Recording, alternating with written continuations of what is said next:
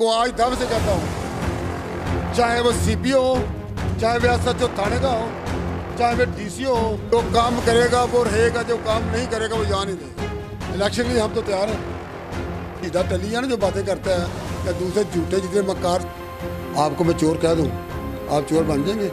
ये आपको ज़्यादा पता होगा। नहीं आपको पता है आप बात कर लें आपको कि फरा खाना को मैं बचा दूँ तो मैं बचूँगा। वरना वो ताने बाने सारी इसी की बात जाएगी। इम्पोर्टेड कैसे है ये मेरा शबाज शरीफ तो यही रहने वाला है। ये इम्पोर्टेड है? इम्पोर्टेड तो वो है।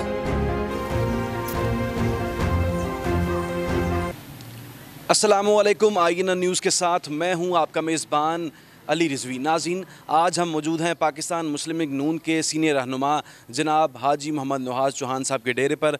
और इनसे चंद सवाल करेंगे। आइए आपको दिखाते हैं। जी अलैक्म सर कैसे हैं आप? ठीक ठाक हैं? जी अलहमदिल्ला बिल्कुल ठीक। सर अभी तक आपको वजारत क्यों नहीं मिली? जैसे कि आपको पता है और सारा शहर जानता है कि 2013 के इलेक्शन में अल्हम्दुलिल्लाह मैं पार्लियामेंट सेक्रेटरी ट्रांसपोर्ट था जी डी ए वासा का चेयरमैन भी था। इसके अलावा मेरे पास और भी बहुत सारे ऐसे नोटिफिकेशन थे जो शायद सबसे मुनफरद थे। कि अल्लाह का शुक्र है मेरे कायदीन उन्हें मुझ पर अतमाद है। मैं वर्कर हूँ। ना मैंने कभी एम पी ए कहा है और ना कभी मेरे दिल में ऐसी बात आई है। वर्कर हूँ और मैं वर्कर होना ही अपना फ़ख्र समझता हूँ। कितनी देर से सियासत कर रहे हैं? अरसा दराज से ये चल रहा है। दो हज़ार आठ से तो कंटिन्यू मेंबर कमी सूबाई असम्बली हूँ। उससे पहले भी मुस्लिम लीग नून से वो वाबस्ता है पहले मेरा बड़ा भाई था। उसके बाद मेरा छोटा भाई डॉक्टर अशर चौहान उन्होंने इलेक्शन 2008 में लड़ा और वो भी अल्लाह के फजल करम से उस वक्त हल्का जो पी पी नाइन्टी टू था तो वो कामयाब हुए। उसके बाद वो ड्यूअल नेशनलिटी के हवाले से डिसक्वालीफाई हो गया और 2012 में बाई इलेक्शन हुआ। तो उसमें मैं 20,000 की लीड से जीता वहाँ पर। वेरी गुड और साथ ही 2013 का इलेक्शन आ गया। और 2013 के इलेक्शन में, अल्हम्दुलिल्लाह, दोस्तों की मेहरबानी से और पार्टी के टिकट पे साथियों ने मोहब्बत की। मियाँ नवाज़ शरीफ से प्यार करते हैं और मियाँ नवाज़ शरीफ का ये, वो खुद कहते हैं कि गुजरा वाला मेरा दूसरा घर है। तो लोग भी ये इस बात को मानते हैं और आपको पता है कि गुजरा वाला में चौदह सीटें एम पी ए की और छः एम एन ए की हैं और अलहमदिल्ला तमाम की तमाम सीटें पी एम एल एन की हैं। और दो हज़ार तेरह के इलेक्शन में जो चार माह बाद इलेक्शन हुआ, बाई इलेक्शन के बाद तो मैं फोर्टी थ्री थाउज़ेंड के लीड से इलेक्शन जीता वहाँ पे। अल्लाह का शुक्र है। तो साथ में दो हज़ार अठारह में इलेक्शन हुआ तो हल्का बंदी की वजह से मेरा हल्का आधा रह गया। आठ, साढ़े आठ यूनिक कौंसल मेरी जो पहली थी, वो कट गई। तो कुछ रह गई, दो दो यूसी बार गाँव की बढ़ गई। तो साढ़े आठ यूसी टोटल थी मेरी और पूरे पाकिस्तान पंजाब में सबसे छोटा हल्का मेरा था। उसके बावजूद भी इन दोस्तों की मेहरबानी से और पार्टी की शफकत और पार्टी की टिकट की वजह से चौदह हज़ार की लीड से फिर मैं जीत गया हूँ जिसकी वजह से आज हम यहाँ बैठे हैं। माशाल्लाह। सर नून लीग के आप सीनियर रहनुमा हैं। कभी किसी दूसरी जमात से आपको टिकट की ऑफ़र नहीं हुई? टिकट की ऑफ़र तो तब हो जब उनको ये यकीन ना हो कि ये मियाँ नवाज़ शरीफ का सिपाही है तो इससे बात करने का कोई फ़ायदा नहीं। मुझे भी 2013 में जिस तरह इंतकामी कार्रवाइयों के सिलसिले में मुझमें भी उन्होंने काफ़ी मेहनत की, कोशिश की और जी डी वासा के हवाले से उन्होंने मेरा तमाम रिकॉर्ड चेक किया, लेकिन अल्लाह के फजल करम से। नीट और क्लीन जिस तरह मियाँ शबाज शरीफ के तमाम केसों में एक दिले की करप्शन नहीं निकली तो ये उसका वर्कर भी अल्हम्दुलिल्लाह उन्हीं के नक्शे कदम में चलते हुए इन्हें भी कुछ नहीं मिला।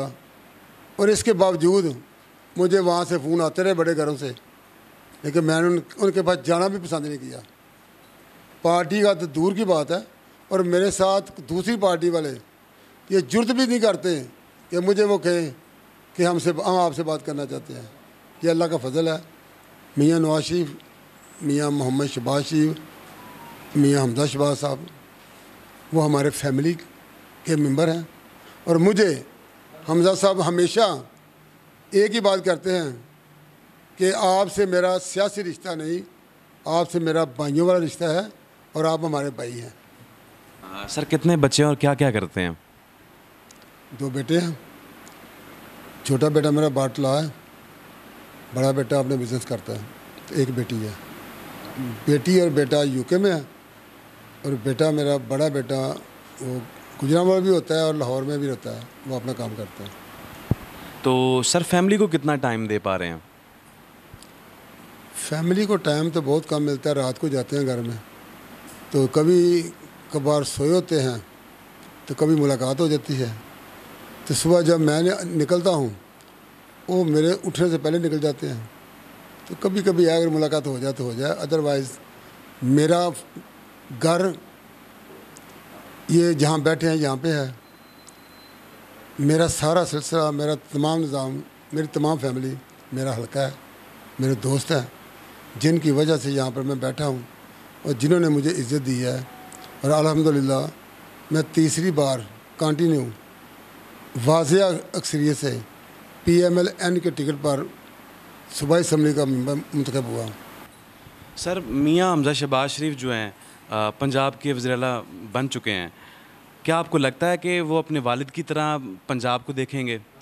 मैं समझता हूँ कि पंजाब खुशकस्मत है कि इनका वज़ी अला मियाँ मोहम्मद शहबाज शरीफ रहे हैं। उससे पहले मियाँ शबा मियाँ नवाज़ शरीफ रहे हैं। और आज फिर उन्हीं का बेटा। उन्हीं के नक्शे कदम पे चलते हुए परसों उन्होंने हल्फ लिया और आपने देख लिया दो दिनों में कि वो सुबह से लेकर शाम तक मीटिंगें कर रहे हैं। बहावलपुर भी कल चक्कर लगाए हैं। उन्होंने बिजली के हवाले से जो मियाँ मोहम्मद शबाज शरीफ ने कहा था, जिस तरह आपको पता है कि अट्ठारह अठारह घंटे लोड शेडिंग हुआ करती थी और 2013 के इलेक्शन 2008 के इलेक्शन में मरकज़ में हमारी हुकूमत ना बनी, पंजाब में बन गई। लेकिन बिजली का आपके सामने जो एक डिक्टेटर ने 11 साल मुशरफ ने हुकूमत की और उन्हें 11 सालों में कुछ ना किया और बिजली का इस कदर शार्ट, शार्टफॉल आ गया कि कंट्रोल करना मुश्किल हो गया। और मियाँ मोहम्मद नवाज़ शरीफ ने उस चैलेंज को कबूल करते हुए 2018 में, हालाँकि छः महीने पहले उन्हें उतार दिया गया, लेकिन लोड शेडिंग ख़त्म हो गई थी। सर उन्हीं का ख़ानदान है। और अभी आपको पता है कि अभी दो हफ़्ते नहीं हुए मियाँ शबाज शबाज साहब को। तो चौबीस सौ मेगावाट बिजली वो आ भी गई है उसमें स्टोर में। सिस्टम में आ गई है जिसकी वजह से ये मामले बेहतर हो गया।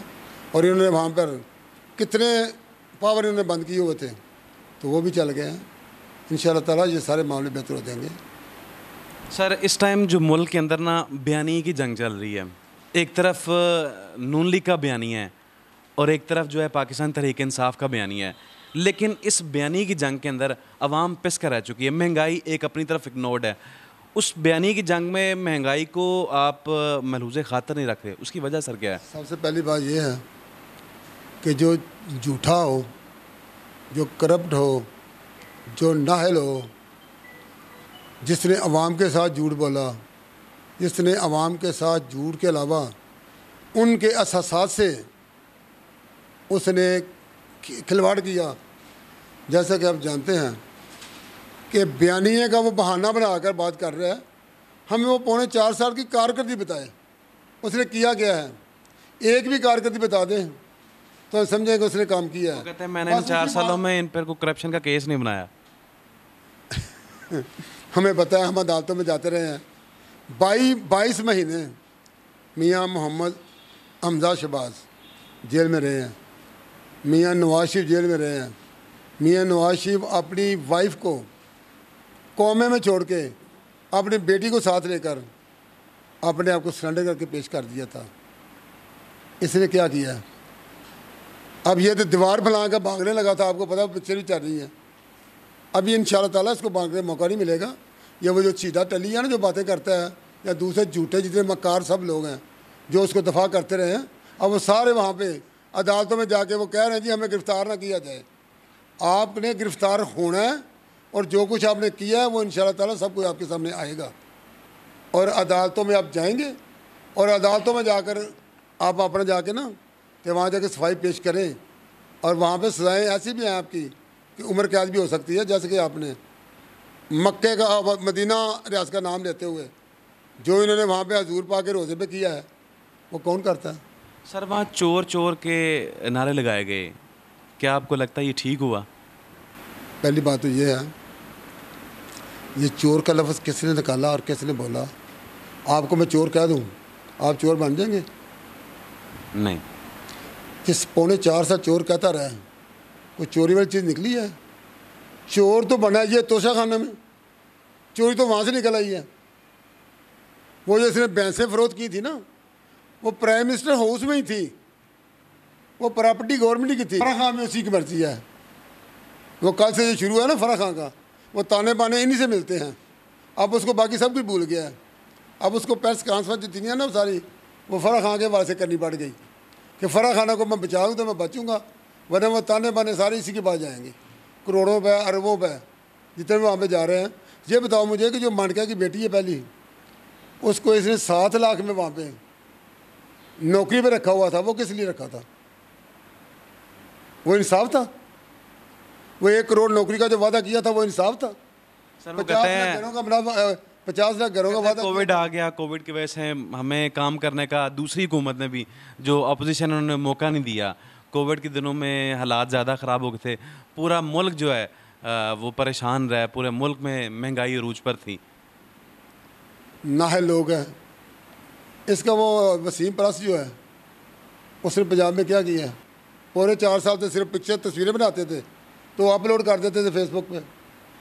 कभी किसी ने ये नहीं कहा कि गुजराबाद शहर में ख्याली ख्याली चौक जो है, यहाँ से लोगों का गुजरना मुश्किल है। ये किसी ने कहा कि शिवपुर रोड पे स्कूल है वहाँ पे। सर पहले आपकी हुकूमत थी रोड तभी वैसा था। कौन सा? ये जो ख्याली रोड है। ख्याली रोड किस ये की पुल के नीचे सर जो। पुल के नीचे टफ्टा लगी है? सर वो जाते हुए बताना- वो टफ टफ लगी है वहाँ पे? उससे पहले क्या हाल था जब पीपल्स पार्टी ने उसको पुल को बनाया था? उसके बाद उसका जब मुकम्मल हुआ तो वो टफ टल मैंने लगवाई है। वहाँ पे तो दो चार सौ लोग रोज़ी कमा रहे हैं ना रेडियो वाले।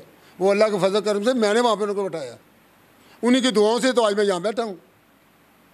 अब जाकर देखो, उनसे पूछे किसी से भी।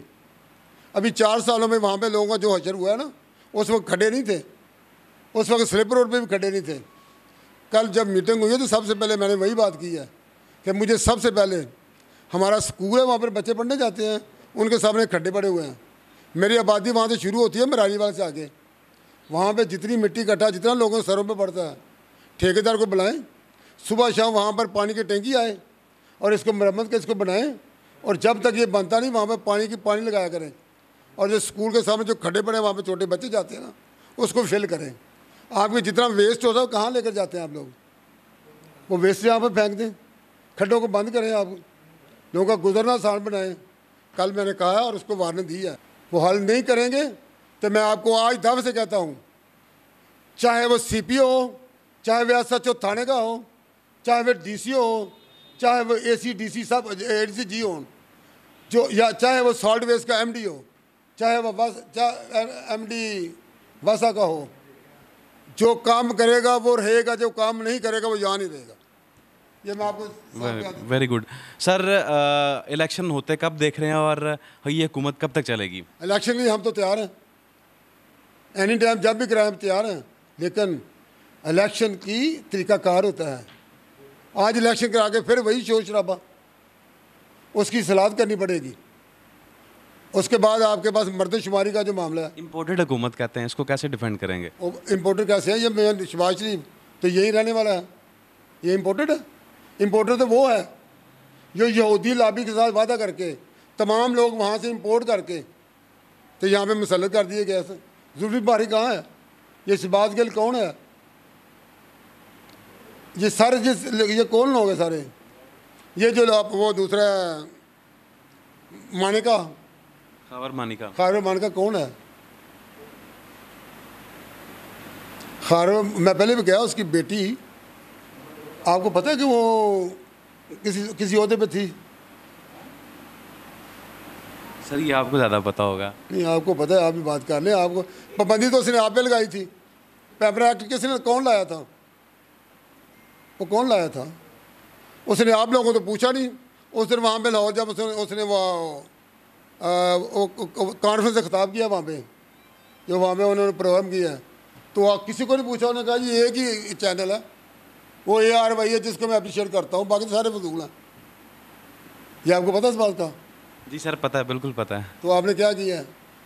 सर वो मरीम नवाज़? साहबा ने भी कहा था ना कि आपने, यही किया है कि उसने जब वो हल्फ ले रहे थे बिलावल भुट्टो साहब वज़ीर खारजा का। तो प्रेसिडेंट बैठा था वज़ीर से बैठे थे। तो जो वो इस, इसका जो वो स्पीच जो थी वो इसकी चला रहे थे। इसके बावजूद सर वो देखे ना ऑडियोज लीक होती रहती हैं। मरीम नवाज़ साहबा की भी ऑडियो लीक हुई। नहीं वो तो खुफिया बातें कर उसने सरेआम बात की है। नहीं उसने तो सरेआम बात की है ना उसमें वर्कर कन्वेंशन में उसने बात की है। जब जब वो नशे में होता है बात और करता है जब नशे उतर जाता है तो फिर और बात करता है। कंटेनर पे उसने चढ़ना है। वो आए, वो किधर गया सीधा डे जो कहता था वो, आए जी, आप कंटेनर में दूँगा, खाना में दूँगा। उस वक्त कतरोगारत हुई थी, उस वक्त शहीद लोग हुए थे। कुर्बानी तो उन्होंने दी जब पाकिस्तान आज़ाद हुआ था। अब कौन सी आज़ादी चाह रहा है? किससे आज़ादी चाह रहा है? ये मुसलमानों से आज़ादी चाह रहा है कि यहूदियों को लेकर यहाँ पर आया हूँ। जिस तरह उसने कश्मीर का सौदा किया, उधर बात करके आया है। इधर आया तो कश्मीर का सौदा हो गया है। उधर वहाँ पे वो इफ्ताह कर रहा है उसका वो क्या नाम था गुरुद्वारे का। तो कर, करतारपुर। करतारपुर का इफ्ताह कर रहा है। तो उधर बाबरी मस्जिद का सुप्रीम कोर्ट ने फैसला कर दिया। ये इसने वहाँ पे वादे किए थे वहाँ पे। अब बयानी की जंग जो है पाकिस्तान में चल रही है। एक तरफ़ जो है वो पाकिस्तान तहरीक इंसाफ का बयानी है और दूसरी तरफ़ जो है नून लीग का बयानी है। अब इस बयानी की जंग के अंदर आवाम आकर पिस चुकी है। फैसला आपने करना है। आज के प्रोग्राम से अली रिजवी को दीजिए इजाज़त। एक नए शो के साथ आपकी खिदमत में हाज़िर होंगे। तब तक के लिए रानी के बान